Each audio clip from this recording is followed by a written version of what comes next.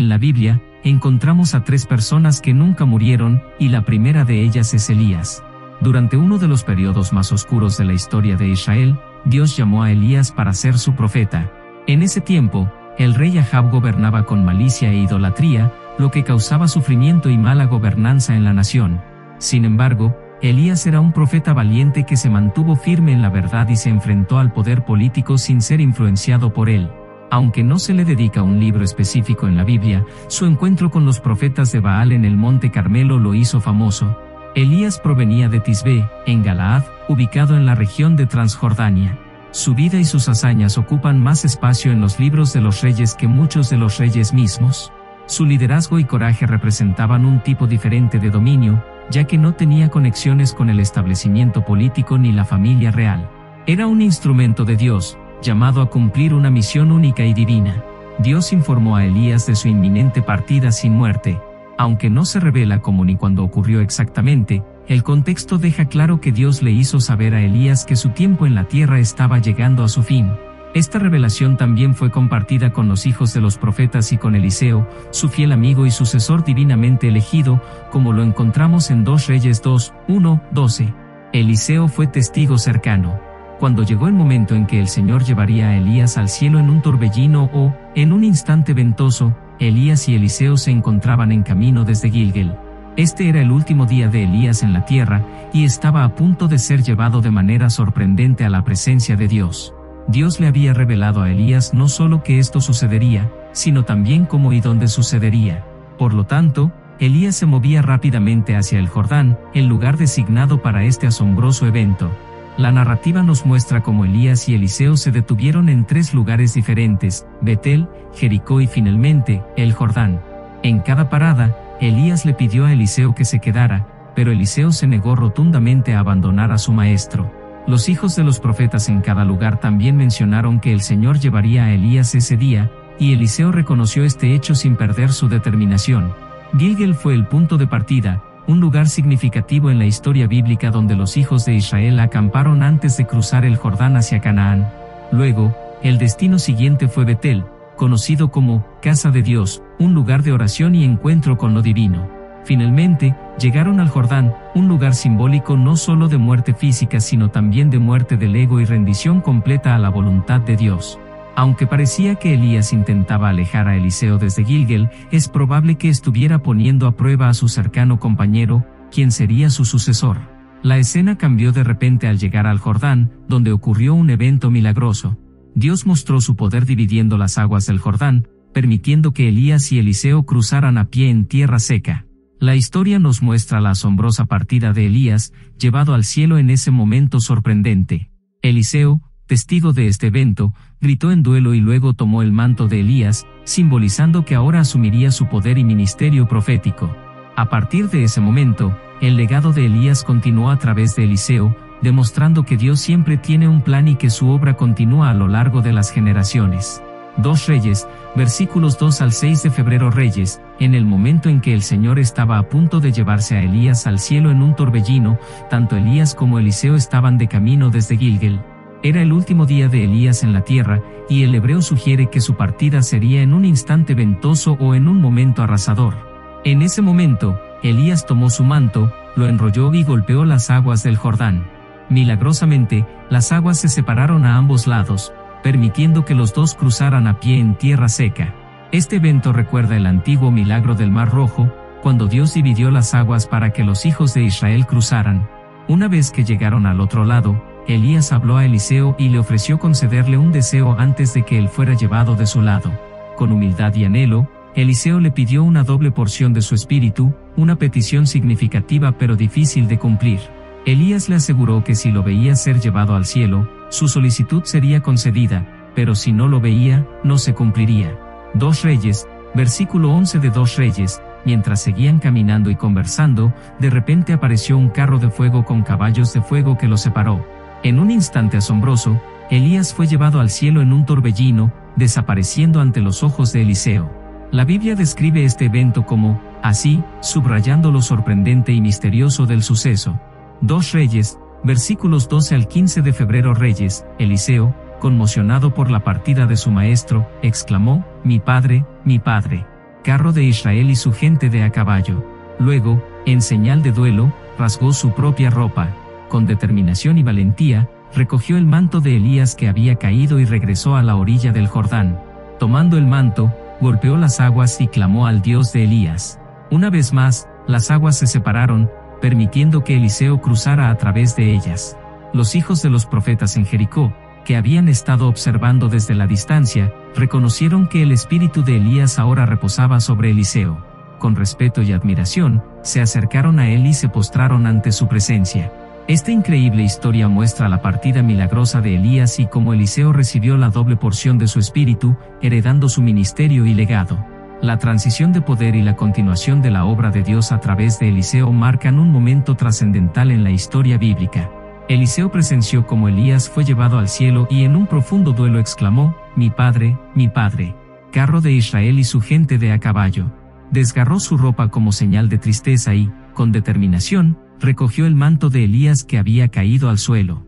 Al regresar al Jordán, golpeó las aguas y clamó, ¿Dónde está el Señor, el Dios de Elías? Una vez más, las aguas se separaron, permitiéndole cruzar a pie en tierra seca, tal como había ocurrido antes bajo la dirección de su maestro. Los hijos de los profetas en Jericó, que habían estado observando desde la distancia, reconocieron que el espíritu de Elías ahora reposaba sobre Eliseo con profundo respeto y admiración, se acercaron a él y se postraron ante su presencia. El sorprendente contrato de no muerte de Elías se hizo evidente de manera repentina. A través de Eliseo, Dios demostró que nada de lo que pertenece a él muere cuando un hombre o mujer de Dios deja esta tierra, es un recordatorio de la vida eterna y el propósito divino en cada vida. Eliseo se convierte en un ejemplo perfecto de cómo Dios siempre tiene un plan, y a lo largo de las eras, ha designado a sus hombres y mujeres para continuar con su obra. Nunca ha sido frustrado, preguntándose qué sucederá después de su partida, pues nuestro Dios Creador es todopoderoso y nunca se queda sin recursos. Aunque Eliseo quedó inicialmente sorprendido y asombrado, esa sensación no duró mucho tiempo. Se inclinó y recogió el manto del profeta, recordando las palabras de Elías y el legado que dejaba. Cruzando de regreso al Jordán, tomó posesión del poder que ahora le pertenecía y comenzó su propio ministerio profético. Desde ese momento, el plan de Dios nunca falló, y con la salida de Elías, la entrada de Eliseo marcó un nuevo capítulo en la historia de la obra divina. Número 2. Enoch. La primera mención de Enoch se encuentra en Génesis 5. Aunque hubo otro Enoch, hijo de Caín, aquí nos referimos al Enoch mencionado en Génesis 5:21, quien engendró a Matusalén a los 65 años. Matusalén, como sabemos por nuestras escrituras, fue el hombre más longevo registrado en la Biblia. Si observamos las genealogías, descubriremos que Enoch era bisabuelo de Noé. Incluso Judas 14 hace alusión a Enoch, el séptimo desde Adán, como profeta que advirtió sobre el juicio venidero del Señor contra ellos, en una época de decadencia moral durante los días de Noé. En medio de esa era, donde la mayoría solo se preocupaba por los eventos terrenales, Enoch destacó como un hombre que caminó con Dios. Fue como un soplo de aire fresco en una sociedad corroída por la inmoralidad. Su vida y sus palabras sobre el juicio venidero nos enseñan a vivir para una audiencia de uno y a buscar apasionadamente una comunión íntima con Dios. Enoch fue llevado al cielo sin probar la muerte física, convirtiéndose en un ejemplo para generaciones posteriores, mostrándonos que experimentar a Dios en una nueva dimensión es posible al buscar una cercanía sin precedentes con Él. Génesis 5, 18-24 narra los detalles de su vida. Cuando Jared tenía 162 años, engendró a Enoch. Y después que engendró a Enoch, Jared vivió 800 años y engendró hijos e hijas. Todos los días de Jared fueron 962 años, y murió. Cuando Enoch tenía 65 años, engendró a Matusalén. Y después que engendró a Matusalén, Enoc anduvo con Dios 300 años, y engendró hijos e hijas. Todos los días de Enoc fueron 365 años. Caminó Enoc con Dios, y desapareció, porque Dios se lo llevó. Enoc es un recordatorio de que, aunque la gran mayoría de los creyentes pasarán por la muerte física, hay una redención última para todos nosotros que hemos puesto nuestra fe en el Señor. Su ejemplo nos da esperanza y certeza de que triunfaremos sobre la muerte, así como Él fue llevado al cielo sin probar la muerte física. Su vida nos desafía a mantener una comunión cercana con Dios, caminando con Él en cada paso de nuestro viaje terrenal. Número 3. Cristianos en los últimos tiempos. A medida que avanzamos en la profecía registrada, encontramos eventos que aún deben cumplirse, según lo escrito. Aunque no conocemos la hora precisa del regreso de Jesús, es cierto que los cristianos en los últimos tiempos experimentarán el evento conocido como el rapto. Es importante destacar que, según 1 Tesalonicenses 4, 13-18, tanto los cristianos que hayan fallecido previamente como aquellos que estén vivos en ese momento participarán juntos en este evento sobrenatural. El pasaje de 1 Tesalonicenses 4, 13-18 nos brinda esperanza y claridad en cuanto a los acontecimientos futuros.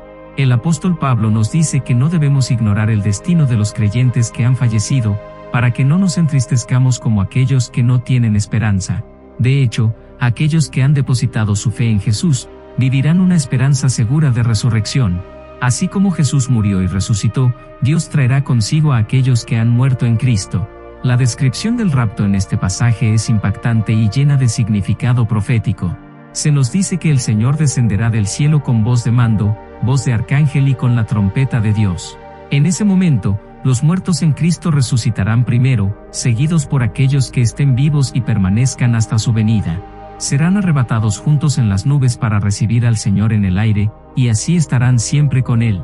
En este escenario, podemos observar una paralela significativa con el caso de Enoch. Así como él fue llevado al cielo sin probar la muerte física, los cristianos en los últimos tiempos experimentarán el rapto, siendo arrebatados en el aire para encontrarse con el Señor. Es esta conexión profética la que resalta la importancia de la tradición de Enoch y su ejemplo de cercanía con Dios. Por lo tanto, la historia de Enoch prefigura la esperanza de toda una generación de creyentes que no experimentará la muerte física. El rapto será un momento sobrenatural y glorioso para aquellos que han puesto su fe en Jesús, y nos alentamos unos a otros con estas palabras sobre nuestra reunión con los creyentes que han partido antes que nosotros. En definitiva, nuestra esperanza radica en que seremos transformados y reunidos con el Señor para siempre en ese maravilloso evento del rapto. En resumen, los tres personajes bíblicos que nunca murieron, como Elías y Enoch, y los cristianos en los últimos tiempos que experimentarán el rapto, nos presentan un panorama lleno de esperanza y promesa. Estas historias destacan la profunda relación que se puede tener con Dios y cómo Él puede obrar de manera sobrenatural en la vida de aquellos que le siguen fielmente. La vida de Elías nos enseña sobre la valentía de defender la verdad y mantenernos fieles a Dios, incluso en medio de la adversidad y la corrupción.